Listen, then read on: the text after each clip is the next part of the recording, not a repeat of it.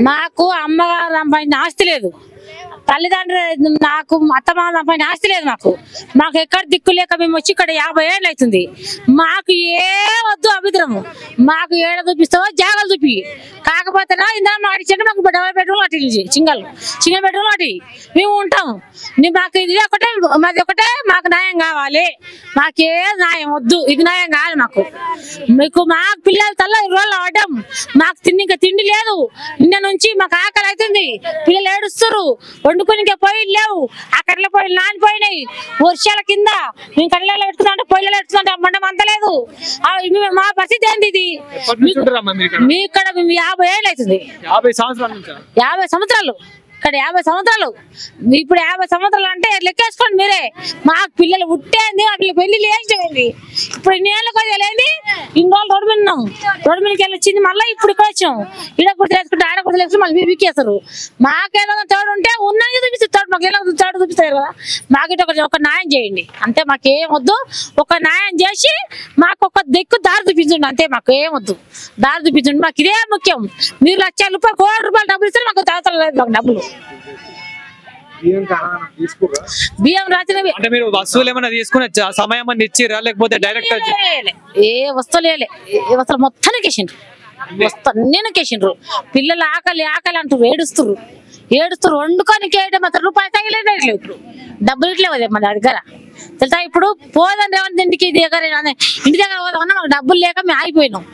ఇప్పుడు పోదాం అనుకున్నాం. పోదాం అనుకొని ఐదు ఒకటి నుంచి ఐదు గంటల నుంచి ఉంటే కట్టుకుని చీరలు లేవు. నిన్న నుంచి చీరలు మీద ఉంటున్నాం తెలుసా? ఉట్టి చీరలు నాలిపోతే ఇప్పుకొని ఆ చీరలు ఆరేసుకొని మళ్ళీ అవే చీరలు కట్టుకున్నాం మేము.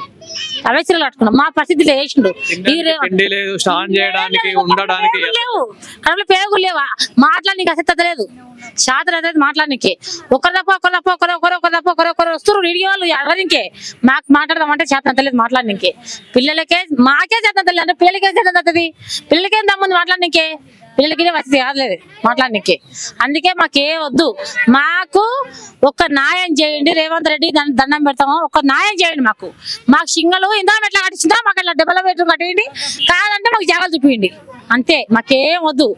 నీ పైసలు ఇచ్చినా మాకు వద్దు మాకు అసలు లేదు. నెక్స్ట్ మీకు ఒక జాగా చూపించినా గానీ ఆ జాగాలో అయితే చిన్న గుడి చేసుకుని ఏమైనా మేము ఉంటాం బతకగలుగుతాం మేము. బతకగలుగుతాం. ఆ జాగ్రత్త గుడి చేసుకొని మేము బతకగలుగుతాం. మేము మా పిల్లల తల్లం ఎట్లా అన్నా మేము బతకగలుగుతాం. మీకు అక్కడ ఉన్న కాడికి జాగ మాకు.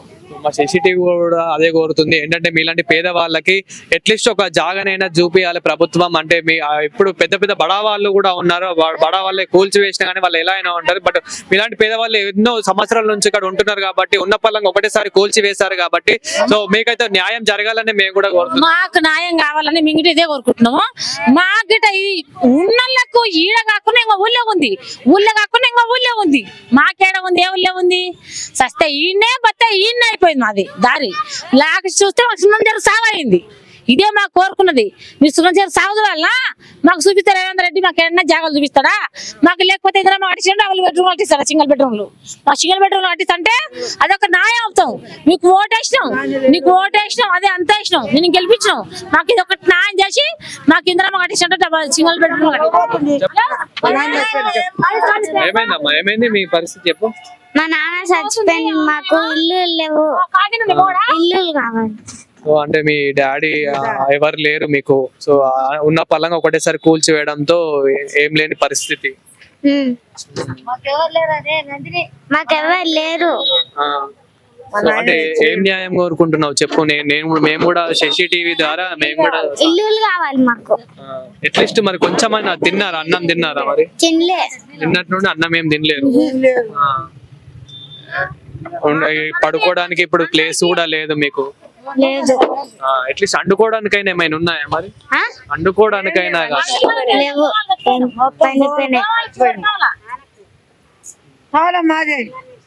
అన్ని నిన్న పొద్దుగాల ఐదు గంటలకు వచ్చిర్రు. పొద్దుగాల ఐదు గంటలకు వచ్చి అక్కడ కూల్స్తుంటే అక్కడనే పోతాయేమో కదా అనుకున్నాం. పోలీసు వాళ్ళని అడిగితే మీ దగ్గరికి రామమ్మ అని చెప్పిర్రు. మేము ముప్పై నలభై సంవత్సరాల నుంచి మా అమ్మలు మా తాతలు చచ్చిపోయారు కానీ మాకు పెళ్ళిళ్ళు చేసి మా మగవాళ్ళు కూడా చచ్చిపోయారు అయితే ఇక్కడ ఉన్నాము. అయితే ఉన్న పలంగా వచ్చి ఆ గుడిసెలు అన్ని కూల్ చేసిర్రు. సామాన్లు గిమాన్లు మొత్తం పోయినాయి. వర్షంలోనే మొత్తం పోయినాయి. మరి ఇద్దరు పిల్లలు ఉన్నారు నాకు. చాలా మంది ఉన్నారు మొగలు లేని వాళ్ళు అయితే. పింఛన్లు ఇస్తా అన్నాడు పింఛన్లు ఇవ్వలే జాగలు ఇస్తా అన్నాడు జాగలు ఇవ్వలే ఏమి ఇవ్వలేడు మాకు. వండుకొని తినికి కూడా ఫుడ్ లేదు. పిల్లగా జ్వరం వచ్చి పండుకున్నా ఇప్పుడు పిల్ల మాట్లాడుతుంటే వచ్చిన. లేకపోతే రాకపోదు. నిన్న నుంచి వర్లి వర్లి వర్లి నాకు దమా ఖరాబ్ అయిపోయింది. జ్వరం వచ్చి అడ్డాలు పడిపోయినాము. గోళీలు ఏమంతా వేసుకోవాలి? ఎంత ఫుడ్ ఉంటే బుక్కడ అన్నం ఉంటే పెద్దోళ్ళమే తట్టుకోలేకపోతున్నాం అన్నం లేక. ఈ పిల్లలు ఉండమంటే ఏముంటారు అన్నానికి? మా సామాన్ అంతా అందులో కూల్చేసిర్రు మేము ఎట్లా ఏ దాంట్లో వండుకోవాలి? ఎన్ని కట్టు కట్టెల పొయ్యి మీద వండుకుందామన్నా కానీ ఒక గిన్నె కూడా మిగిలేవు నేయలేరు.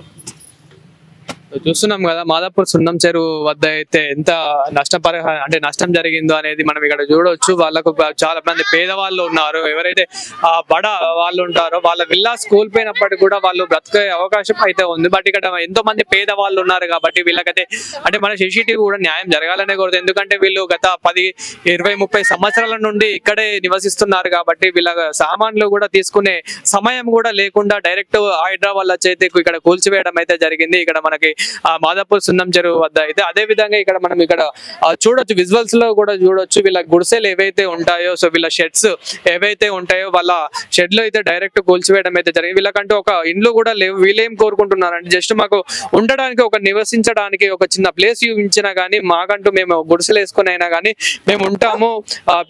పెన్షన్ ఇలాంటివి ఏ- ఏది కూడా మాకు అందుబాటులో లేవు. ఏవి కూడా అంది అందిపక అందిపకడమే కాకుండా ఇక్కడ మాకైతే నివసించడానికి నివసించడానికైతే ఎట్లాంటి ఆ, ఇది కూడా లేకుండా ఇక్కడ మనకి విజువల్స్లో కూడా చూడొచ్చు. ఎంత నష్టంగా ఎంత దారుణంగా అయితే ఇక్కడ గోల్ చేస్తారో మనం అయితే చూడొచ్చు. అంటే ఇది మనకు వచ్చేసి ఎఫ్టిఎల్ పరిధిలోనే మనకైతే ఇక్కడ కనిపిస్తుంది. చెరువు పక్కనే ఇవన్నీ గుడిసెలు అయితే కనిపిస్తున్నాయి. సో అక్రమంగానే కట్టినట్లయితే మనకైతే ఇక్కడ కనిపించడం అయితే జరుగుతుంది. సో వీళ్ళకి కూడా అంటే ఎంతో కొంత న్యాయం జరగాలని మనం అయితే కోరుతున్నాము. ఎందుకంటే వీళ్ళు కూడా చాలా పేద వాళ్ళు కాబట్టి చాలా పూర్ పీపుల్స్ కాబట్టి వీళ్ళకి కూడా న్యాయం జరగాలని కోరుతున్నాం ఎందుకంటే నిన్నటి నుండి వీళ్ళకి తిందామన్నా తిండి కూడా లేదు ఉందామన్నా ఇండ్లు లేవు.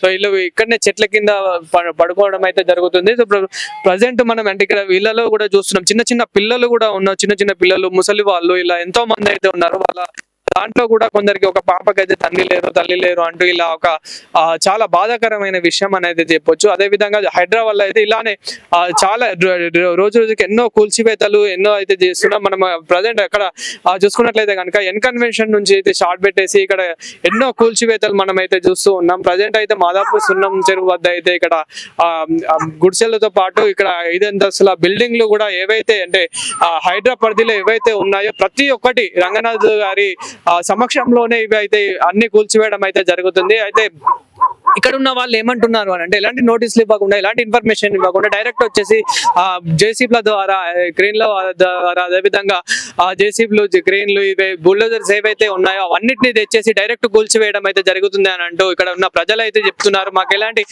తీసుకునే వస్తువులు కూడా సమయం లేదు అనే ఇక్కడ అయితే విజువల్స్లో కూడా చూడొచ్చు. అన్ని ప్రస్తుతం ఇక్కడ ఉన్న చెరువు చుట్టూ ఉన్న ప్రతి ఒక్కటైతే కూల్చివేయడం అయితే జరిగింది. సో దీంతో పాటు ఇంకా చాలా మనం మల్లంపేట కానివ్వండి అదే విధంగా ఆ దుర్గం చెరువు దగ్గర కానివ్వండి ఇలా ఎన్నో మనం కూల్చివేతలు అయితే చూస్తూ ఉన్నాం. ప్రతి ఒక్కటి దగ్గర మనము కూల్చివేయడం అయితే జరుగుతుంది. ఇంకా ముందు ముందు ఎన్ని కూల్చివేస్తున్నారు అండ్ ఎన్ని ఎకరాలు కాపాడుతుంది హైడ్రా అనేది అయితే ముందు ముందు అయితే చూడాలి కదా. విజువల్స్లో అయితే ఇలాంటి జేసీపీలు అయితే నిన్న అయితే ఒక పది జేసీపీలు పదిహేను జేసీపీలు వచ్చి డైరెక్ట్ కూల్చి హైడ్రా సమక్షంలోనే కూల్చివేయడం అయితే జరిగింది. అయితే మనం ఇక్కడ బిల్డింగ్ కూడా ఇంకొకటి కూడా ఖాళీ అయినట్లయితే మనం చూస్తున్నాం. పక్కన ఒక బిల్డింగ్ అయితే ఐదు అంతస్తుల బిల్డింగ్ ఏదైతే ఉందో సో ఐదు ఆరు అంతస్తుల బిల్డింగ్లు కూడా కూల్చివేసినట్లయితే మనకు కనిపిస్తుంది అదే విధంగా ఇక్కడ నిన్న జరిగిన ఇక్కడ జరుగుతున్న అంటే ఇక్కడ ఇప్పుడే ప్రజెంట్ కన్స్ట్రక్షన్ అయితే అవుతుంది. ఆ కన్స్ట్రక్షన్ అవుతున్న బిల్డింగ్ కూడా హైడ్రా సమక్షంలోనే ఇదైతే కూల్చివేయడం అయితే జరుగుతుంది. ఇలాంటి జేసీబీలు ఇంకా నిన్న పది పదిహేను అయితే రావడం అయితే జరిగింది. ఇప్పటికీ హై- హైడ్రా సమక్షంలోనే కూల్చివేస్తున్నారు. సో పోలీస్ సిబ్బంది సరి- సమక్షంలోనే జిహెచ్ఎంసి సమక్షంలోనే ఇదంతా అయితే జరుగుతుంది. అయితే ఇక్కడ ఇప్పుడు ప్రజెంట్ వీళ్ళకైతే నోటీసులు ఇచ్చి కొంచెం టైం ఇచ్చి ఇక్కడైతే కూల్చివేయడం అయితే జరుగుతుంది. కానీ నిన్న జరిగిన కూల్చివేతల్లో ఏదైతే ఉందో వాళ్ళకి ఎలాంటి ఇన్ఫర్మేషన్ ఇవ్వకుండా ఎలాంటి నోటీసులు ఇవ్వకుండా అయితే కూల్చివేయడం అయితే జరిగింది. ఇక్కడ మనం ప్రజెంట్ అయితే చూస్తున్నాం. జేసీబీ ఏ విధంగా అయితే కూల్చివేస్తుందో ఇక్కడ ప్రజలు కూడా అంటే అక్కడ ఉన్న డ్రిల్లర్ డ్రిల్లర్స్తో కానివ్వండి అదే విధంగా ఉన్న ఏవైతే జేసీబీలు బుల్డోజర్లు ఉన్నాయో అవన్నిటితో అయితే కూల్చివేయడం అయితే జరుగుతుంది. అంటే వీళ్ళు పర్మిషన్ లేకుండా అక్రమ అక్రమంగానే ఇది అయితే కట్టడం అయితే జరుగుతుందని చెప్పేసి ఇక్కడైతే కూల్చివేస్తున్నారు